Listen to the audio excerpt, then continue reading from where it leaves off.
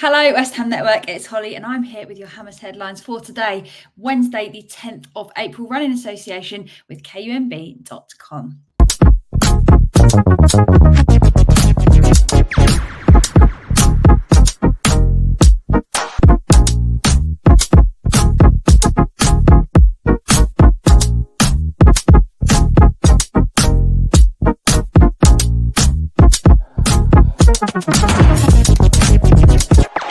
Ham Network. Today, we are going to be chatting about that Tim Steidten interview, an unfortunate under 21s result, and Thomas Soucek's head injuries. So let's get started. First up, Tim Steidten has done an interview with NWZ Online where he has spoken passionately about the club as well as putting any rumours about risks behind the scenes to rest. Great news. So he began by speaking very proudly of West Ham and how happy he is, saying, I am euphoric at every game and every training session because I feel that I'm in the right place in the right league. And he also spoke about initially being very keen to have full control over everything that's happening at West Ham. And this being quite a stark change for Sullivan Moyes and himself to work out, saying, I wanted to have overall responsibility. I wanted to take control myself. So it was a stark change for all three. So it's clearly been a learning curve for all three of them to work together and know how to have their own input for the best of the club.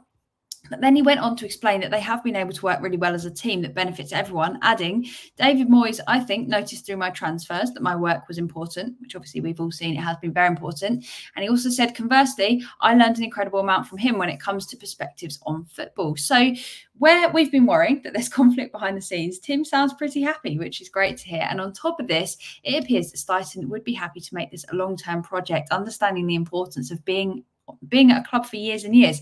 Adding, a squad restructuring is always a four to five year project. I was at Werder for 18 years and could probably have worked there longer, but I also wanted to experience something different and never have to say to myself, I should have done that. But what I experienced in England is particularly good for my development. So by the sounds of it, he's happy in London. He's happy at West Ham and he's well aware that for him to actually make a difference, he needs to be here for a long time, which is what we like to hear, especially when there are rumours of other people lurking around trying to get his signature. And so far, Steidten's involvement at West Ham has been fantastic, bringing top talent to our club and helping to get signings over the line. And with summer rapidly approaching, he will be hard at work behind the scenes, I'm sure, to make sure that we can hit the ground running when the transfer window opens. And now things are sounding positive. Like we've worked out how much input everyone has behind the scenes, as well as Steidten talking about being happy, plus talking about how projects take time. So it's all sounding pretty good. For your second story, West Ham's under 21s faced PSV in their first ever Premier League International Cup semi final, but unfortunately missed out an additional time in the Chigwell Construction Stadium. So the Young Hammers took the lead in the 13th minute with Swire's finish into the top corner. For anybody that's not seen this goal, and also Lewis Orford. So just quickly, Swire, that was his second goal in two games. He's doing well at the moment. But Lewis Orford, if you've not seen the goal, you need to watch it. He collected the ball about 25 yards out and he fired the ball into the top corner again to make it 2 0.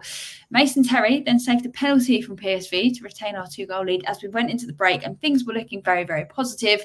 However, in the 47th minute, in true West Ham style, PSV pulled one back and with very tired legs, they equalised in the 88th minute. In the 91st minute, there was a late goal from the PSV captain captain, which saw the game end, unfortunately, 3 2 it is a real shame, but we do have some very exciting talent coming through the ranks. And here's hoping they can get a win away on Friday against Norwich.